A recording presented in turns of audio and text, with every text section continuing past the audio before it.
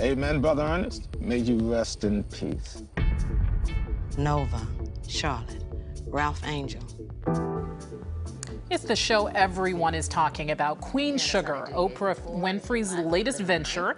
It's based on the book of the same name. And author Natalie Baszile is here with me today. Natalie, welcome to Black Renaissance. Thank you so much. It's so good to have you. I was telling you earlier, I'm a huge fan of the show, but the book is its own thing entirely, its own uh, piece of art itself, uh, and it takes place in South Louisiana. That's right. Talk to me about what about South Louisiana drew you in? Why did you know you had to write a book about that area? Well, my dad was from South Louisiana, and it was a region that I knew nothing about growing up, but fell in love with as a young adult, and was really just drawn by the people and the mix of cultures.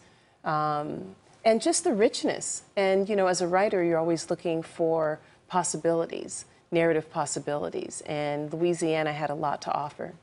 That certainly is an area that is rich with diversity. It is. Uh, and when you're talking about the rural area, I mean, this is essentially a book about going home. It is, yeah. And what made you want to write a book about going home? Is that, that's basically what you were doing that's by right. looking at your father's history? Well, you know, I noticed when I, in the early days of writing Queen Sugar, uh, I noticed that a lot of people were talking about moving from cities, whether it was on the West Coast, major me metropolitan uh, areas on the west on the West Coast or the East Coast, they were moving back to the South, and that was curious to me.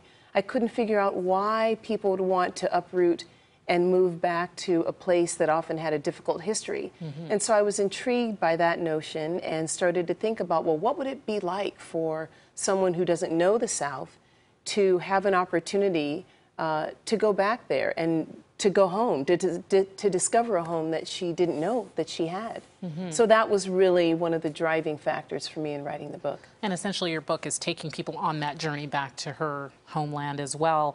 Uh, talk to me about what it was like to have Oprah read your book and then tell you that she wanted to turn this into a series with Ava DuVernay, I mean, the director of Selma. Right.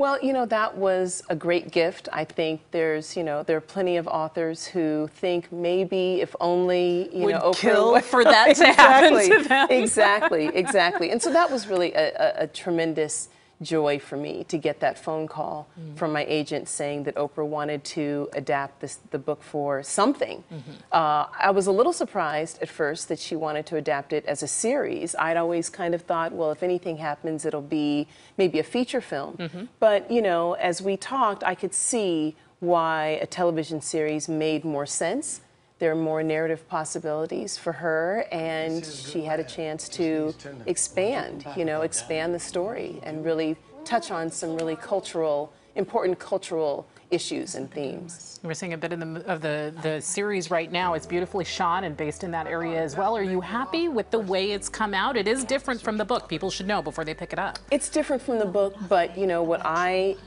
am so gratified by is the heart and the spirit are the same. Mm -hmm. Ava has done in her medium, in film and television, what I'm trying to do in books, and that is to offer another look at African Americans, to offer a more nuanced portrayal of African Americans and, and the African American experience, and really the experience of a lot of people of color.